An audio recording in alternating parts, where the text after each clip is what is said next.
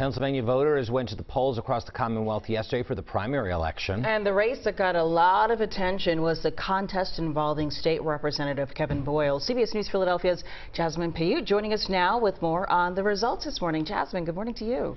Good morning, Janelle Jim. That's right. The results are in, and some of them may come as a surprise. Other results, not so much. But let's start in Northeast Philadelphia, where Sean Dougherty beat seven-term incumbent State Representative Kevin Boyle to win the Democratic nomination for the 172nd Legislative District. The race was not close, with Dougherty easily winning with more than 72% of the vote. Dougherty is the nephew of former Philadelphia Union leader John Dougherty. Boyle has held his seat for more than a decade, but has been dealing with personal struggles of late. Last week, he had a warrant issued for his arrest, which was withdrawn by the Philadelphia District Attorney on Monday. Voters we spoke to offered differing perspectives on Boyle. I'm hoping that change, like everybody else. He didn't campaign. Dougherty was all over campaigning. So uh, uh, he was the man for, what, 12 years? So time for him to go. Kevin, if you're listening, get the help you need. We love you, Kevin. Get better.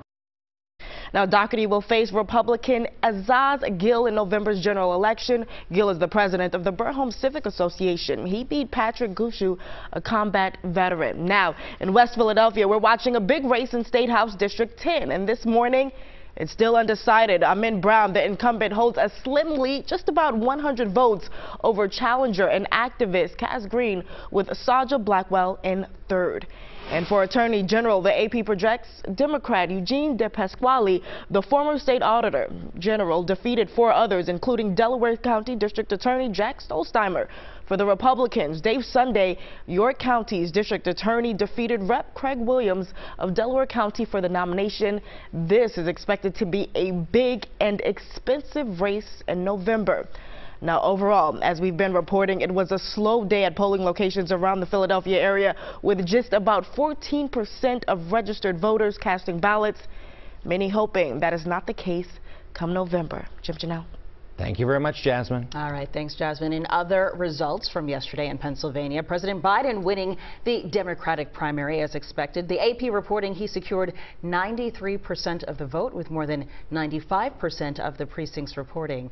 And then in the Republican primary, former President Trump with 83% of the vote. Challenger Nikki Haley, she dropped out of the race, but her name did remain on the ballot, and she earned 16% of the votes cast. And you can find all of the election results all of the races in Pennsylvania on our website at cbsphiladelphia.com.